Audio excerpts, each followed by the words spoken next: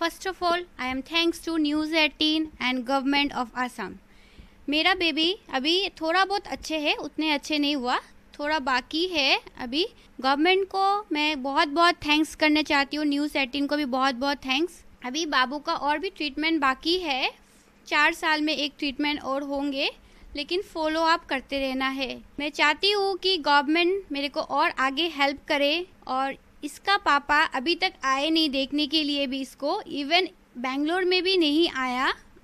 बोले थे आएँगे, पर आए नहीं अभी तक।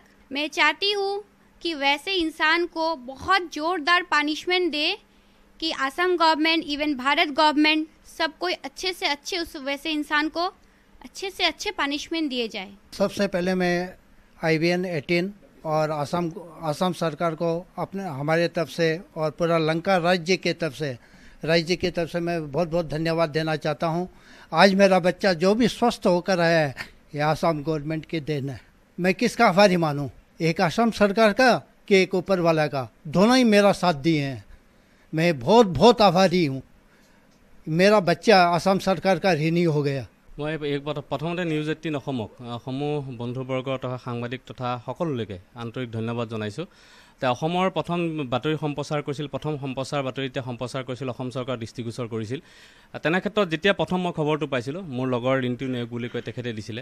দিয়াৰ পিছত আমি স্বাস্থ্যমন্ত্ৰীক জনাইছিলোঁ। স্বাস্থ্যমন্ত্ৰী তেখেতৰ যোনজন পি এ হেমন্ত চৌধুৰী দাদাক জনাইছিলোঁ এনেকুৱা ধৰণৰ ঘটনা দাদা কি ক'ব? দাদাই কৈছে লগে লগে পঠাই দিয়া। জি এম চিৰ তেখেত হেমন্ত তালুকদাৰ ছাৰকো তেখেতে জনালে অভিজিৎ শৰ্মা ছাৰক জনালে। সকলোখিনি তেখেতে সহযোগিতা প্ৰদান কৰিলে। আৰু গতিকে অসম চৰকাৰ আটাইতকৈ প্ৰথম দৃষ্টিগোচৰটো হৈছে যেতিয়া নিউজ এইটিন অসমত বাতৰিটো সম্প্ৰচাৰ হ'ল তেতিয়া সকলোৰ মুখা মানে চকুত তাত নিক্ষেপ হৈছিলে তেতিয়া সকলো যেতিয়া চকু দিছে তেতিয়া অসম চৰকাৰে এটা ভাল পদক্ষেপ গ্ৰহণ কৰি বেংগলোৰলৈ পঠাই দিলে তেখেতক। কিন্তু চিকিৎসাৰ যিহেতু উন্নত মানৰ চিকিৎসা প্ৰদান কৰিলে কিন্তু আটাইতকৈ পৰিতাপৰ বিষয় যেতিয়া তেওঁলোকে জি এম চিত আহিছিলে যেতিয়ালৈকে তেওঁৰ যোনজন হাজবেণ্ড হাজবেণ্ডে কোনো ধৰণৰ তেখেত ফলপ্ৰসূ সুবিধা বা তেনেকুৱা ধৰণৰ কোনো ধৰণৰ চিন্তা চৰ্চাও নকৰিলে যে খবৰটো ল'ব লাগে তেনেকৈ নকৰিলে আমাৰ ওচৰত দুখ প্ৰকাশ কৰিলে। এতিয়া লংকাৰ সকলো ৰাইজে তেখেতৰ আশীৰ্বাদ কৰিছে যাতে শিশুটি মানে সুস্থ হৈ উঠক আমিও আশীৰ্বাদ কৰিছিলোঁ। কিন্তু আটাইতকৈ এটাই কথা বেয়া লাগিছে যিহেতু তেওঁ হায়দৰাবাদত তাত থাকে। কিন্তু শিশুটিক এনেকুৱা এজন পিতৃয়ে এনেকুৱা এটা মুহূৰ্তত এৰি পেলাই অকলশৰীয়া কৰি পেলাই নিথৰুৱা কৰি পেলাই যে গুচি গ'ল এনেকুৱা যদি হৈ থাকে প্ৰত্যেকজনী নাৰী এনেকুৱা সন্তানৰ কাহিলে সকলো দুৰৱস্থা হৈ থাকিব।